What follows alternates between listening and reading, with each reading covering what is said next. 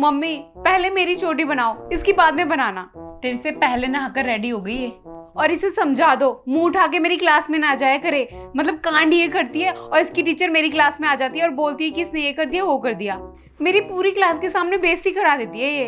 हाँ तो तू मत आया कर क्यों आती है? पढ़ना लिखना कुछ आता नहीं है सब बोलते हैं कि तू तो इतनी इंटेलिजेंट है तेरी बहन तो डफर है डफर। हाँ तो तुम मत बताया कर कि मैं तेरी बहन हूँ।